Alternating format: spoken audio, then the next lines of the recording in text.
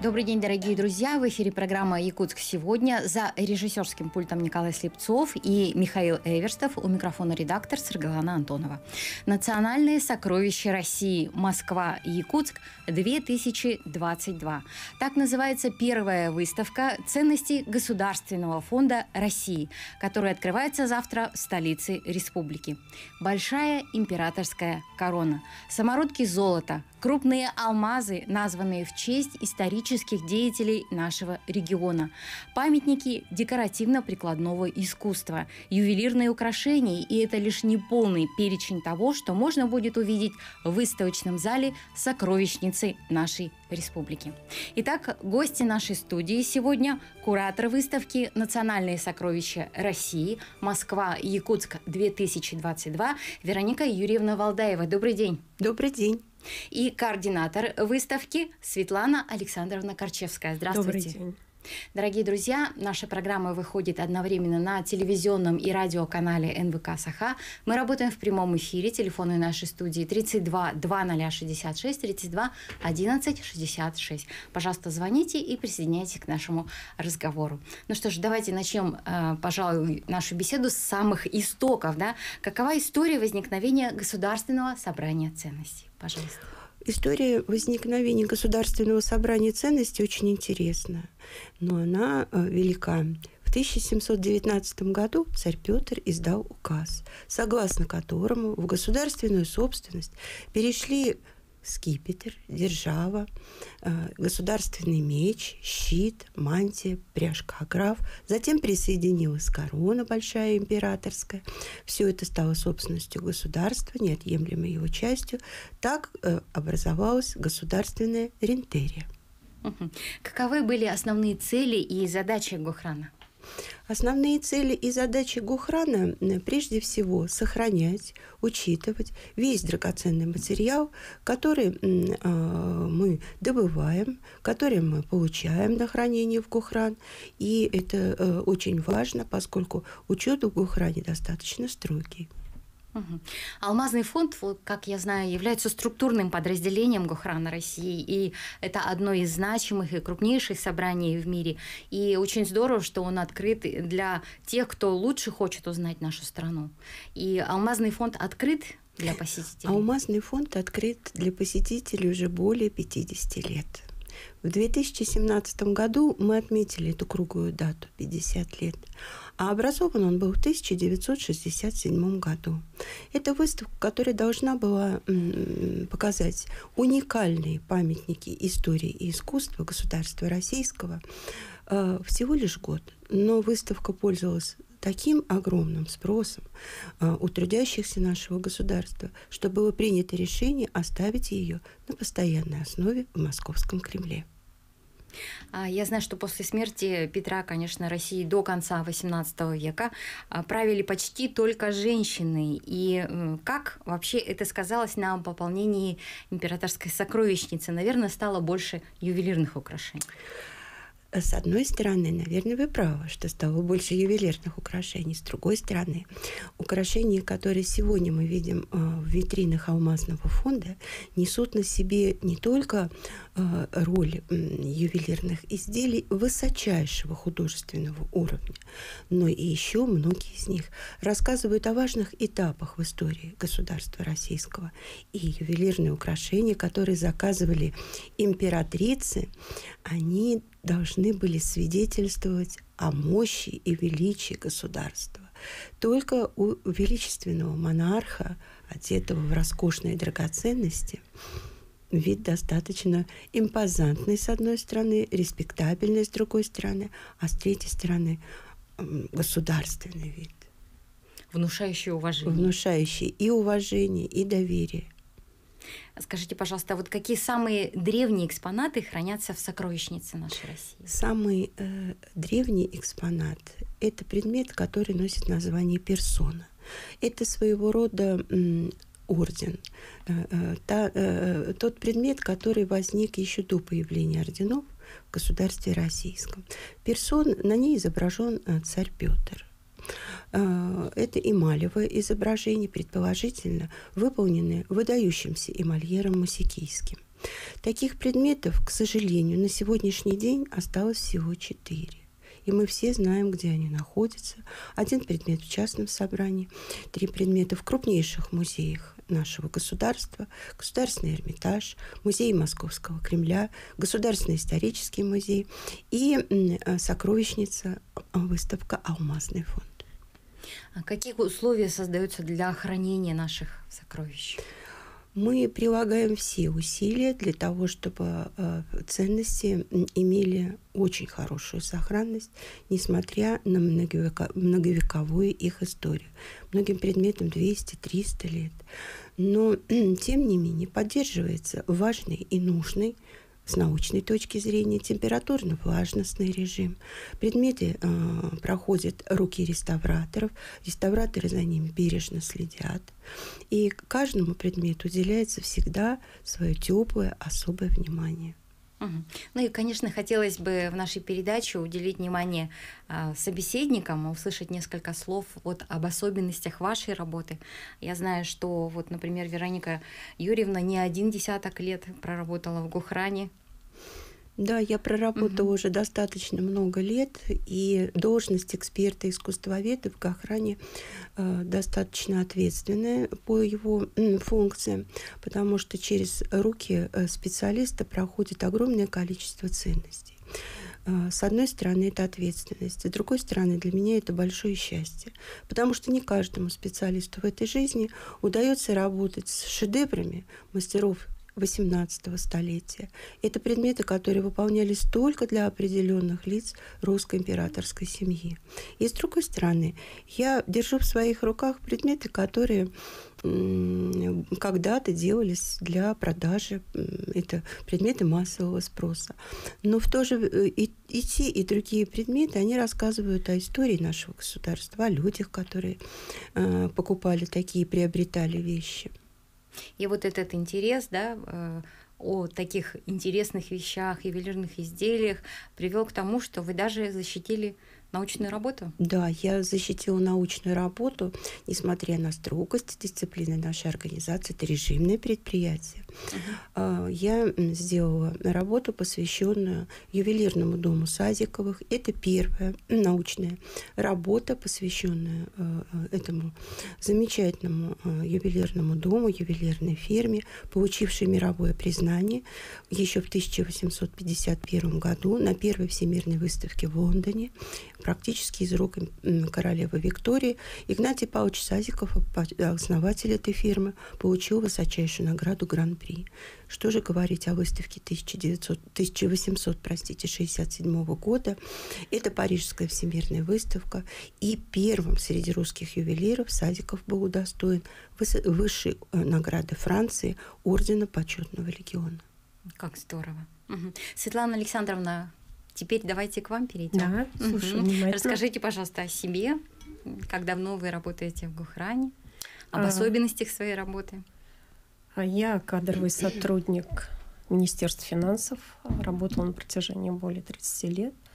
И в Гухран пришла и занимаюсь проектами выставочной деятельности, экспонированием ценности. Эта работа меня увлекла, поскольку первый проект у нас сейчас идет выставка ювелирная на Красной площади в историческом музее, и параллельно эта выставка. Я охвачена, мне это интересно, и очень надеюсь, что это будет большим подарком для всех гостей и жителей Якутии. Мы непременно поговорим о предстоящей выставке, да, но мне хотелось бы задать такой вопрос. Вообще, каковы источники поступления предметов в Гохран? Например, в прежние времена, какими путями, а, способами коллекция пополнялась тогда и как она, например, э, развивается на сегодня? Мы можем разделить вопрос. Хорошо, давайте. Да, Вероника Юрьевна до современности. Я отвечу на настоящее. Ну, прежде всего, э, э, сама организация Гухран была создана в 1920 году. И для того, чтобы сохранились государственные ценности, в Гухран поступали предметы из скупочных предприятий. Э, люди, пытаясь пополнить свои материальные возможности, приносили предметы э, в скупочные предприятия. И вот великое счастье, что эти вещи были сохранены. Из них была составлена за последние 30 лет достаточно большая и очень интересная, очень ценная, очень значимая не только для нашего государства, но и для мирового собрания коллекция. Ну, а иногда нам везет, и на последнем этапе Гухран стали ювелиры дарить э, на работы, и они входят в собрание нашего э, э, учреждения. Ну и вот сегодня тоже представлены на выставке в Москве. Я продолжаю. Да, да, пожалуйста. По источникам, поскольку мы говорим о драгоценных камнях, о уникальных ювелирных изделиях, то это регулируется законодательством источники определены в законе. И первое – это право Гохрана а, закупать у субъектов рынка уникальные самородки, драгоценные камни, закупать у индивидуальных предпринимателей, а у физических лиц. Понятно, что это за счет средств федерального бюджета. А, спасибо за этот вопрос, потому что еще раз будет предоставлена возможность поблагодарить тех меценатов, которые дарят свои изделия в наш государственный фонд, и это дарение и наследование. И, безусловно, это и самородки у субъектов, э, которые занимаются добычей их. А вообще, как правильно определить, что, например, тот или иной самородок действительно имеет какую-то уникальную ценность? В государственном хранилище э, ценностей работают специалисты. Они занимаются драгоценными металлами э, и изучают э, именно драгоценные металлы в их самородном состоянии. Это золото, платина и крайне редко встречаемое в природе в самородном состоянии серебро. Вот мы можем даже похвастаться тем, что у нас есть коллекция серебряных самородков. И специалисты определяют их значимость, ценность. Они особенно а, обращают внимание на содержание а, драгоценных металлов в составе самородного золота, платины или серебра. И, конечно же, форма играет большое значение, потому что многие самородки природа создала в уникальной форме. Все мы знаем знаменитый самородок Мефистофель.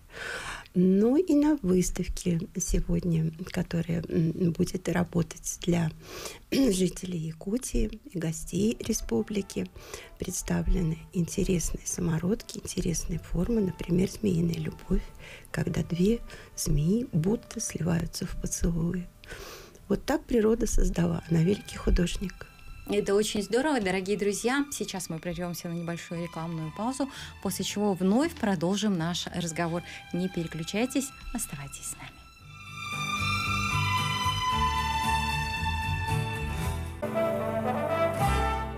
Дорогие друзья, мы продолжаем нашу программу. С 27 апреля по 18 мая в Государственном хранилище ценностей Якутии проходит выставка из коллекции Гохрана России «Национальное сокровище России. Москва. Якутск. 2022», посвященная столетию образования Якутской АССР.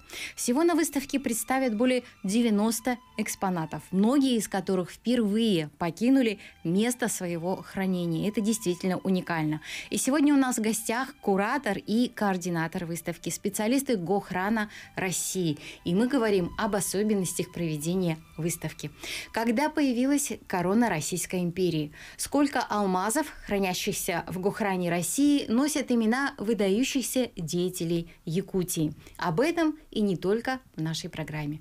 Напоминаю, дорогие друзья, что наша передача выходит одновременно на телевизионном и радиоканале НВК «Саха», мы работаем в прямом эфире. Телефоны нашей студии 32 2066 32 11 66. Пожалуйста, звоните и присоединяйтесь к нашему разговору.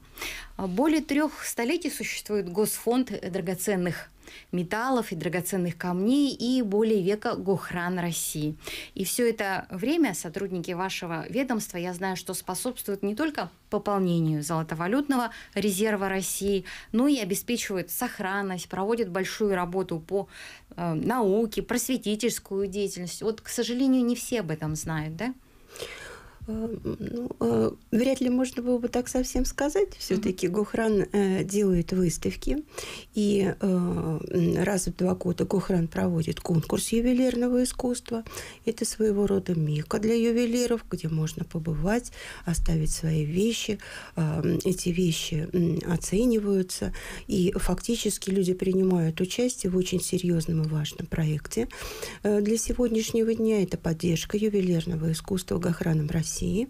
И э, много интересных э, личностей, имен э, появилось на небосклоне, нашем таком, скажем, золотом, бриллиантовом небосклоне ювелирного искусства сегодняшнего дня. Поэтому, конечно, мы все-таки хотели бы сказать, что мы не столь закрыты, как кажется, с первого взгляда.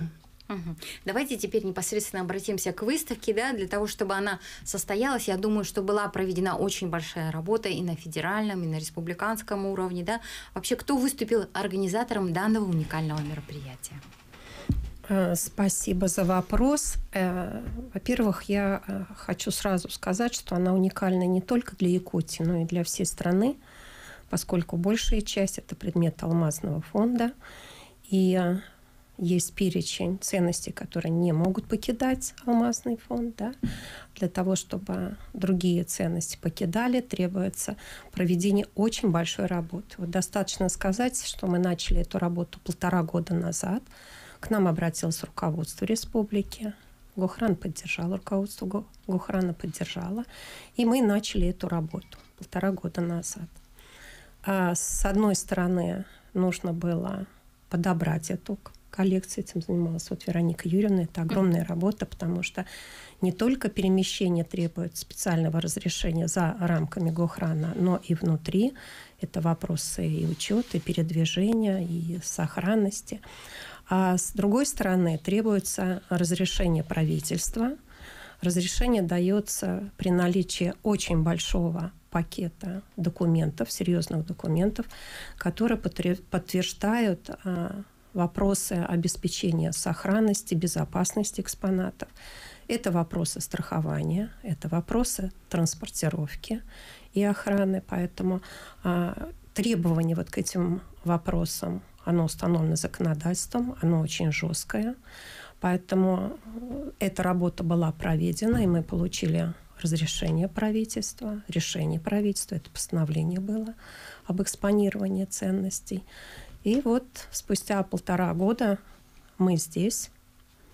И здесь, конечно, мы говорим спасибо и коллективу Гохрана Якутия, потому что это было плотное, было плотное взаимодействие. В октябре вот мы с Вероникой Юрьевной и с другими специалистами приезжали угу. для того, чтобы посмотреть и помещение с точки зрения безопасности, да, а, а, наших экспонатов с точки зрения размещения, чтобы экспозиция была размещена так комфортно, чтобы все эмоции, все взгляды были сосредоточены на вот этих звездах нашей выставки. Угу. Ну и, конечно, у любой выставки есть концепция. Да, конечно, и а, у нашей выставки тоже есть эта концепция. А, мы показываем прежде всего те предметы, которые отражают э, тему, э, э, тему поставленную. Это тема юбилея Якутской автономной социалистической республики. Э, для этого были подобраны, э, для этого были созданы разделы. Разделы наполнены предметами. Прежде всего, конечно, хочется сказать о главном э, достоянии Республики Якутия, которое, так сказать, щедро делится со всем государством. И таким образом уникальные алмазы попадают в государственное хранение. И наиболее редкие алмазы обретают имя собственное. В витринах нашего выставки представлены алмазы, которые входят в состав алмазного фонда Российской Федерации. И это 15 драгоценных камней. Они имеют статус уникальных, угу. и э, все они именные. Но их название прежде всего связано, конечно, с историей Якутской Республики. Э, с ее крупными политическими и э, э, экономическими деятелями, деятелями культуры, реками, городами, для того, чтобы можно было показать весь спектр вопросов, которые связаны с историей Якутии. А, прежде всего хотелось бы сказать о алмазах, а, которые посвящены и названы угу. в честь э, основателей Якутии, э, Якутской республики. Это и Амосов, это и Оюньский, угу. и Аржаков. Так называются алмазы. Но э, ведь за этим, за всем стоит история каждого человека, его биография, его деятельность, его семья, его помыслы. Конечно, замечательный э, а, алмаз, э, самый большой алмаз э, имеет массу 196 карат, он называется «Звезда Севера». А самый небольшой алмаз – это река Лена – 30 карат с половиной. Ну, казалось бы, вот такой не, небольшой по сравнению со 196 каратами алмаз. Но у него уникальная форма, удивительная чистота. То есть это камень высшего достоинства в области драгоценных камней. И недаром что назван в честь реки. Реки, Лены, uh-huh. мощная река. Вот в этом и заключается сила в этой мощи, чистоты, красоты драгоценного камня. Есть замечательный алмаз, он является центром экспозиции витрины. Якутск 350. Он весит 125 каратов. Это тоже крупный камень. У него даже есть почти эффект портретного алмаза. То есть алмаз, когда ты смотришь, можно увидеть без искажений все, что ты видишь с другой стороны. И в то же время э, этот алмаз был посвящен 350-летию э, основания города Якутска.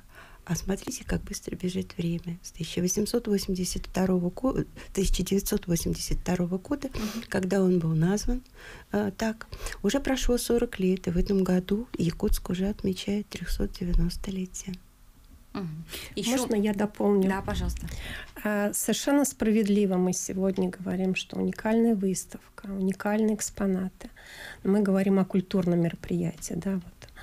И, конечно, надо еще и напомнить о том, что выставка состоится в год, да, культурного наследия по указу президента. Поэтому это тоже такой вот знаковый, придающий силу даже какую-то нашей выставке культурного наследия народов России. У нас еще одна круглая дата – это 390-летие вхождения Якутии в состав российского государства. И вот этот замечательный алмаз Якутска как раз об этом может тоже рассказать. За каждым из этих алмазов сразу же начинается большой и интересный рассказ за каждым из экспонатов, наверное, своя очень интересная история, история. о которой можно будет, э, собственно, узнать, вот посетив эту выставку, да, и поэтому мы обратимся, наверное, к нашим телезрителям, радиослушателям с приглашением посетить обязательно эту выставку, которая откроется буквально уже завтра. Угу. А вообще, какова главная задача и поставленные цели вот этой выставки? Я начну. А, главная цель – это показать наше культурное историческое наследие, которое принадлежит всей стране. А, это дать а, эмоции, дать чувство гордости, патриотизма, которое нам сейчас очень нужно не в простое да, время. И мы по своей выставке, которая сейчас проходит в историческом музее, это видим. У нас буквально за два месяца 15 тысяч посетителей приходят и семьи, приходят и по 3-4 раза. И точно такие же слова восторга. Да? Спасибо, мы уверены, что времена пройдут, что мы едины, в этом наша сила. И сила и в искусстве оно помогает. Я бы так сказала. Ну, безусловно, мне хочется дополнить слова uh-huh. Светланы Александровны и сказать, что каждый предмет был э, сделан мастерами с большой любовью.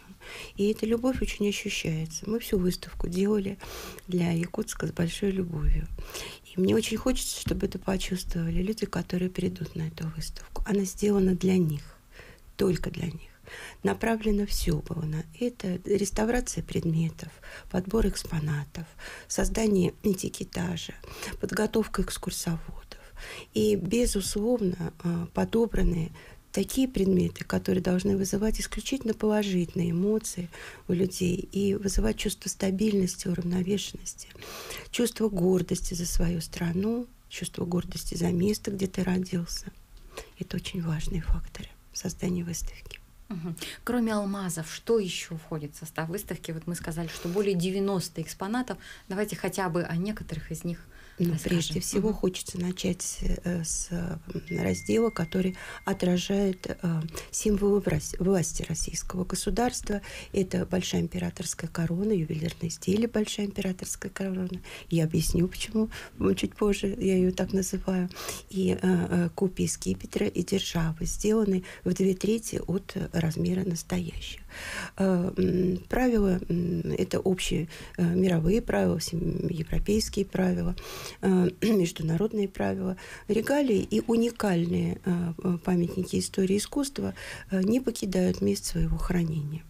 Поэтому ювелиры, например, э, экспериментальная ювелирная лаборатория Гохрана, которая создана была в 1970 году, приняли решение создать э, э, копии, две трети от настоящих таковых, размерные величины, и им это удивительно удалось. И вот сегодня вместе с ювелирным изделием Большой императорской короны, а ювелирное изделие – это значит тот уровень высочайшего мастерства, технического, художественного, который в этом предмете чувствуется и ощущается даже теми людьми, которые очень далеки от ювелирного искусства, угу. э, мастера это почувствуют.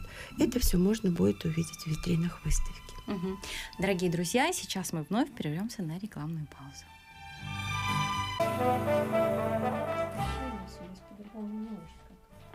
Дорогие друзья, мы продолжаем нашу программу. С 27 апреля по 18 мая в Государственном хранилище ценностей Якутии пройдет выставка из коллекции Гохрана России «Национальные сокровища России. Москва. Якутск 2022», посвященная столетию образования Якутской АССР. Всего на выставке будет представлено более 90 экспонатов, многие из которых впервые покинули место своего хранения. И это действительно уникально. И сегодня у нас в гостях куратор и координатор выставки, специалисты Гохрана России. И мы говорим об особенностях проведения выставки. Итак, сколько алмазов, хранящихся в Гохране России, носят имена выдающихся деятелей Якутии, какие крупные самородки мы сможем увидеть в сокровищнице. Об этом и не только далее в нашей программе. Дорогие друзья, наша передача выходит в теле, э, одновременно на радио и телевизионном эфире НВК «Саха». Мы работаем в прямом эфире.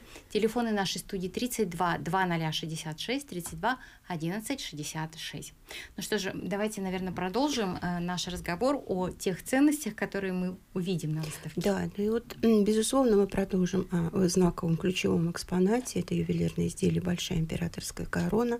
Ее украшает 11 352 бриллианта, общей массой 1200 карат. Все эти бриллианты были сделаны из якутских алмазов. Поэтому, да. конечно, интересно посмотреть этот предмет. А, здесь рядом э, располагается и скипетр, и держава. Более того, можно посмотреть выдающиеся работы ювелиров экспериментальной лаборатории Кохрана, которые входят в коллекцию выставки «Алмазный фонд». И они впервые покинули место своего хранения. Впервые покинули место своего хранения работы а, Московской ювелирной фабрики. Она же была преобразована и в 1900 1971 году в Московский ювелирный экспериментальный завод. Э, именно на этом предприятии в 1957 году был образован цех, где гранили первые якутские алмазы. И в витрине выставки жители Кути, гости э, столицы Якутска могут увидеть редчайшие работы. Это первые ограненные э, бриллианты из якутских алмазов, ювелирных изделий 50-х, 60-х, 70-х годов. Э, выставку украшает, конечно же, золотые самородки. Все семь самородков, которые представлены в экспозиции, найдены на территории Якутии. Наши специалисты специально подобрали именно этот состав самородного золота. Они имеют интересную форму. Мы говорили уже о э, э, змеиной любви да. совсем недавно. Вот. Но есть самородки, имеющие и не менее интересную форму, чем змеиная любовь, и не менее интересный вес. Оказалось бы, они одинаковые по внешним признакам, но очень разные по весу. Все это можно рассмотреть, ну, можно сказать, почти потрогать. Э, в выставке находится большой раздел, который посвящен искусству XIX века, потому что ничто не возникает на ровном месте. Обязательно необходимо говорить о школе э, э, ювелирного искусства России. Она очень богата. И если э, говорить о продолжателях специалистов XIX века, чьи работы представлены на выставке, мы можем сказать о замечательной ювелире, молодом ювелире Варваре Соловьевой, которая привезла свою работу на конкурс ювелирный Гохрана, который проходил в конце прошлого, в начале этого года. Более того, она получила первое место в номинации «Национальное искусство в ювелирном деле». Рядом с ней, тоже очень приятно это сказать, соседствуют работы Пермяковой, молодой барышни, но очень уже серьезные работы.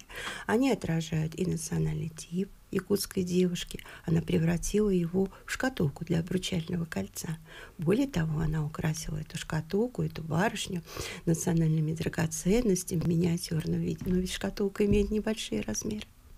Это действительно здорово, когда вот э, работы наших молодых ювелиров, дизайнеров уже появляются э, и участвуют в таких больших, можно сказать, э, высокого уровня конкурсов. Ну, это серьезное пространство и очень серьезная площадка для экспонирования. Государственный исторический музей, э, э столица нашей Родины, центр столицы нашей Родины. Поэтому это большая ответственность. Ну и кроме того, посетители выставки смогут увидеть очень даже реалистичные голограммы. Это копии экспонатов Алмазного фонда России. Да? Скажите, да, пожалуйста, нам хотелось этом. бы показать большее количество предметов, которые хранятся э, в нашей сокровищнице. И такую техническую возможность, эта идея была у нас давно, и такую техническую возможность дал совместный проект э, э, Гухрана России и Ленинградского университета оптики и э, света. И вот появились удивительные э, работы. Ощущение такое, что в э, ряду витрин стоят совсем маленькие, небольшие витрины всего с одним предметом. На самом деле это действительно ультрареалистичное восприятие, воспроизведение в новых технологиях памятников искусства, которые не покидают место своего хранения. Но вот они, видите, в таком интересном, новом, новационном техническом сказать, виде предстанут э, посетителям выставки. Они очень украсили, очень дополнили нашу выставку, и я думаю, вызовут большой интерес. И, есть... и споры, потому что у нас на выставке угу. мы свидетелями споров многочисленных. Одна часть говорит, нет, там точно украшение, вторая часть говорит, нет, это голограмма. Поэтому мы свидетели таких вот яростных порой даже споров. Потому что не верю глазам очень своим. Интересно, да? Это очень сложно. Казалось да. бы, протяни руку, и вот, вот оно, э, вот этот предмет. Можно потрогать хотя бы стекло витрины. На самом деле это не так. Получается, что древние традиции встречаются с современностью, с новыми технологиями. Да. Угу. Хорошо. При том, что Гохран имеет статус закрытого учреждения, а все же его экспонаты участвуют в каких-то показах? Да, безусловно. Вы можете привести Безусловно. Угу. Но прежде всего хотелось бы рассказать о том, что в 2019 году э, у нас прошла выставка э, в Южно-Сахалинске. Это серьезная выставка, она являлась, э, стала большим явлением для культурным явлением для э, региона в целом и вообще для нашего государства, потому что люди знакомились с историческими предметами XIX века, которые выполняли мастера ведущих ювелирных фирм России. Э, Фаберже, Хлебникова, Овчинникова, Сазикова. И сегодня мы должны знать эти имена, потому что это часть нашей истории и культуры. И э, были современные предметы представлены. Э, мы продолжили эту традицию и вот в выставки, которые привезли в город Якутск. Там тоже работы современных ювелиров, так же, как и в Южно-Сахалинске, только несколько иные работы уже э, из коллекции алмазного фонда. Это наилучшие памятники высочайшего художественного достоинства, которые могут увидеть теперь э, якутяне. И добавлю, ага. мы участвуем еще и в крупных международных событиях, да, ежегодно это уже традиция, стал международный финансовый форум, где также представлены наши уникальные экспонаты. Хорошо. А вот есть ли у нас на сегодня в России ювелиры уровня Сазикова, Хлебникова, Овчинникова, Фаберже? Вот мы да, говорим. конечно, у нас есть ювелиры, и э, с этими ювелирами мы знакомы очень давно.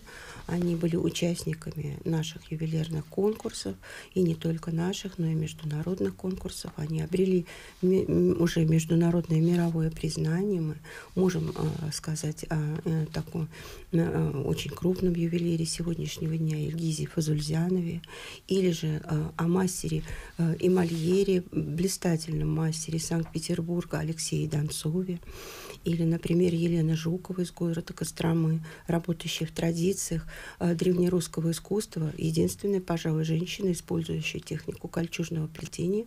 Это практически вот кольчуга, как у, э, в старину у витязей, защищавших российское государство. Она делает в этой традиции браслеты, колье, серьги. И, например, Эдуард Никитин, блистательный мастер, тончайший, выполняющий ажурные узоры в миниатюрных ювелирных изделиях. Э, они сделаны так, что завораживают женщин. Они достаточно долго стоят у витрин. Сегодня эти вещи можно увидеть на э, выставке в, Моск... в Москве. Угу. Ну что, что же, для того, чтобы выставка действительно стала успешной, нужны очень многие составляющие. Это и ведение куратора, работы команды, продвижение. Вот на ваш взгляд, пока все задачи выполнены, завтра же уже открытие. Осталось выполнить угу. главную задачу – принять посетителей как можно больше мы будем очень рады, если наша выставка доставит всем радость, удовольствие, э, внутреннее спокойствие, стабильность, потому что искусство — это посол мира оно э, должно воздействовать на людей так, чтобы люди уходили с выставки совершенно э, вот с радостным настроением, а это влияет на состояние здоровья, это влияет на работоспособность людей, то есть это создает нормальную обстановку в обществе. И сплоченная, да? И. И сплоченная. За страну, Гордости. за Россию. Гордость действительно за то, что есть такие прекрасные руки, которые сделали такие чудесные вещи. И буквально несколько слов о тех людях, которые приходят на выставку, о посетителях, вот э, с какими чувствами, с какими эмоциями они покидают, например, вы знаете, показы. у нас угу. были, э, мы раскроем секрет, у нас были первые две группы. Это, конечно, сотрудники организации, сотрудники Гухрана Якутии, которые участвуют с нами в проекте. Но надо же было показать все-таки выставку и познакомить их с ним, угу. с ней уже в готовом виде. Э, вышли люди с очень приятным выражением лица, радости, умиротворения, гордости, счастья за то, что они познакомились с прекрасными работами ювелиров России. Ну что же, давайте еще раз пригласим наших телезрителей, радиослушателей в эти дни с 27 апреля по 18 мая посетить сокровищницу нашей Якутии. Да? И несмотря на удаленность от центра, действительно у нас появилась уникальная возможность познакомиться с шедеврами национальной сокровищницы России. Дорогие друзья, мы благодарим наших собеседников за очень интересный познавательный рассказ. Дорогие друзья, это была программа «Якутск сегодня». Ее подготовила и провела редактор Сарглана Антонова. Всего вам самого доброго и до свидания, до следующих встреч. Всего доброго. До свидания.